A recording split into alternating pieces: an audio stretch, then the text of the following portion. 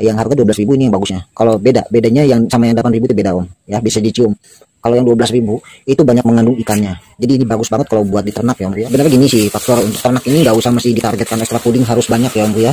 Harus dijual dengan ekstra puding. Eh jebol omku ya. Kalau misalkan kita di push dengan ekstra puding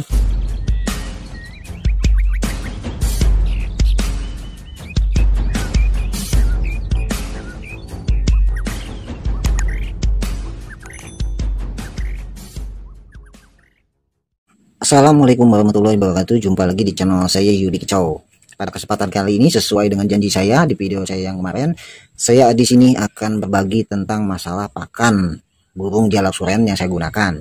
Nah jadi di sini bukan hanya sekedar burung jalak suren saja yang saya kasih pakanan seperti ini ya. Di sini saya juga uh, kasih ke burung jalak kebo dan ternak kacer saya pakai seperti ini ya. Karena kalau menurut saya ini bagus banget ya. Saya udah cek uh, kadar protein dan karbohidratnya itu saya udah cek semua ya nah jadi yang saya gunakan ini yang coklat nih ya. Ini ada sisa bekas kemarin oplosan kemarin ya. Nah ini ya om ya. Nah di sini sudah ada yaitu kemarin saya udah tuangkan ini sekitar dua bungkus ya yaitu sama saja bur, uh, ini murah banget sih ya. Yang coklat ini murah banget nggak keras kayak Thompson dan pensi ya Nah, jadi bisa omku dapatkan di toko-toko online ya, murah banget kalau kita beli di online. Tapi kalau masalah hitungan dengan ongkos itu ya risikonya kalau kita beli di online ya, Om ya. jadi pur yang saya maksud ini yang coklat ini nih ya, bentuk coklat ini bukan pur lele ya, Om ya. Ini bukan pur lele, ini pur bagus banget, nggak keras ya, Om ya. Kemungkinan burung omku ini pasti suka dengan pur yang seperti ini. Nah, banyak faktor burung uh, sering menyelupkan si pakannya ini ke cepuk minumnya sampai cepuk minumnya kotor ya. Ada yang bertanya kepada saya juga ya seperti itu. Nah dikarenakan purnya itu keras om bu ya. Jadi kita harus tahu ya. Kadang juga ada faktor yang seperti ini. Pakannya saya kasih om bu ya dicepuk tapi diacak-acak. Nah karena dia ini memilihin ya. Yang diacak-acak itu yang yang bertaburan dia itu dia nggak mau sampai pakanannya keras maka itu diacak-acak. Jadi ada dua faktor ya bu ya. Ada faktor yang dicelupin ke airnya air minumnya supaya ini dicelupin nih dicelupin ke air minumnya supaya ini nggak terlalu keras gitu dimakannya. Nah seperti itu ya waktunya. Ada juga yang diacak-acak. Nah seperti itu disarankan. Nah ini adalah pur super mantep ya. Super mantep ini. Ini saya udah contohkan di sini ya. Ini super super mantep.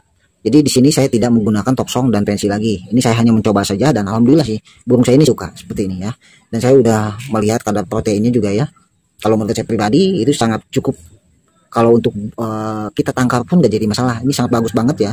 Jadi kita kalau untuk ternak juga jangan terlalu boros di ekstra, ekstra puding. Jadi saya bisa menggunakan pur ini karena proteinnya sama saja ya. Bagi kita untuk mengurangi ekstra puding untuk burung ternak juga nggak masalah. Ini lebih bagus kalau menurut saya ya. Bukan saya promosi di sini saya tidak dibayar di sini ya. Ini adalah pur super mantap yang sudah saya campurkan dengan pur pedaging yaitu R 11 ya. Boleh juga menggunakan 511 gak jadi masalah. Banyak yang pro kontra di saya ya Om, bagus mana sih pur BR11 dan pur 511? Perbedaannya ada dua, ya Om ya. Yang pertama 511 itu lebih mahal dibanding BR11 ya. Yaitu BR11 saya beli sekilonya 8000 kalau untuk daerah saya, 511 ini sekilonya 10000. Nah, itu yang pertama.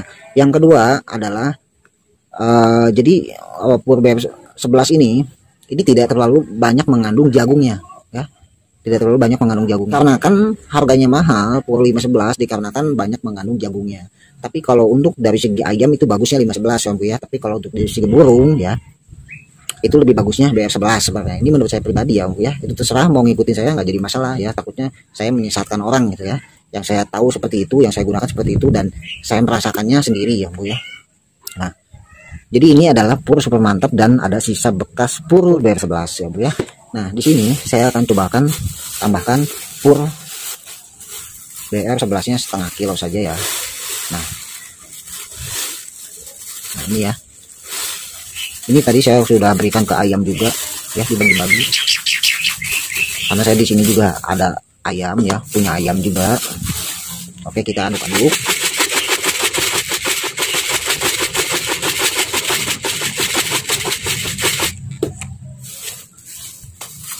Nah, ini pur lele.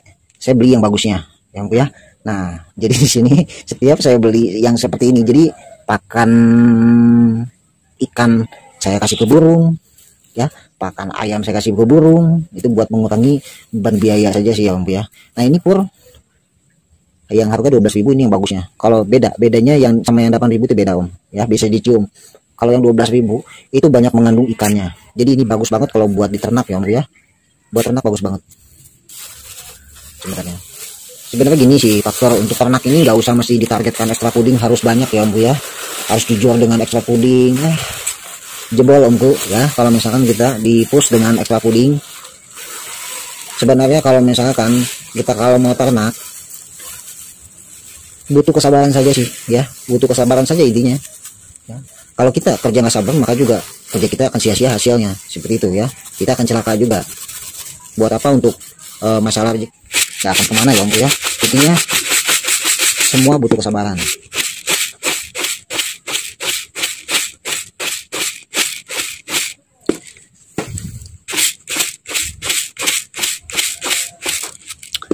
Nih sebenarnya kacar juga saya sekarang gunakan ini. Tidak terlalu menekan uh, ekstra puding logikanya seperti ini kalau kita jor dengan ekstra puding kroto setiap hari kita beli kroto itu harganya 5000 aja sedikit ya mau ya. Terus kita beli uh, jangkrik kita beli lagi uh, ulat hongkong ya. Sedangkan si burung itu belum bertelur ya. Kalaupun dia bertelur juga jor ekstra puding sampai sebulan nah itu dikalikan ya bu ya. Dikalikan sudah pengeluaran kita sudah berapa. Sedangkan kita menunggu telurnya itu tiga ya. Tiga sampai empat. Rincikan dengan pengeluaran kita dan hasil panen kita. Nah itu harus bisa diperbandingkan. Intinya ternak itu kita harus ekstra sabar ya. Yang penting burung itu butuh konsentratnya. Nah semacam kayak ikan di sini juga ada sebenarnya ya. Ini di pur super mantap ini juga ada omku ya. Nah jadi di sini saya menggunakan kacar juga menggunakan seperti ini. Pakannya sama dengan jarak sukan kita. Apakah mengandung lemak? Ya semua juga pasti lemak om ya. Yang penting lemak itu bisa dibasmi dengan penjemuran saja ya seperti itu. Jadi kita bisa mengurangi supaya tidak terlalu beban biaya banget. Ya di sini saya bukan pidato ini saya um, berbagi solusi saja buat om semua dipikir dua kali kalau kita mau ngejar pakai jangkrik. Ya ngejar pakai ekstra puding.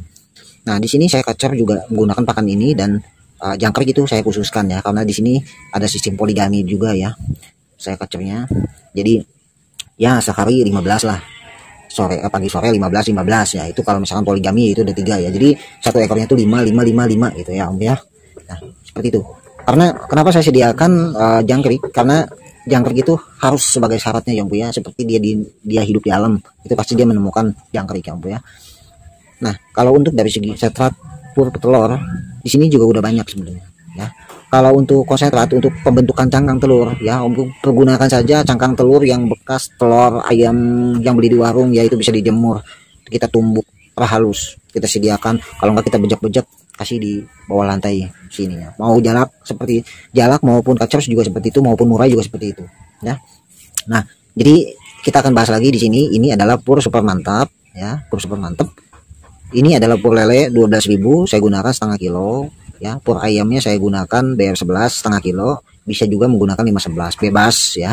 Di sini saya tidak menggunakan toksong karena bukannya saya menjelekkan kualitas ya. Di sini saya hanya mencoba saja. Kalau menurut saya ini super mantap ini ini bagus banget ya. Nggak terlalu keras. Jadi seburungnya nyaman. Ini jadi nggak ada yang sampai amburadul ke kandangnya gitu ya om ya. Seperti itu sih ya yang saya sarankan. Nah jadi ini mungkin uh, video yang saya bagikan ya Bu ya. Semoga bermanfaat buat Om semua. Ya jangan lupa dukung terus channel Yudi Kicau. Nyalakan lonceng notifikasinya agar Omku selalu dapat notifikasi video terbaru dari channel Yudi Kicau. Assalamualaikum warahmatullahi wabarakatuh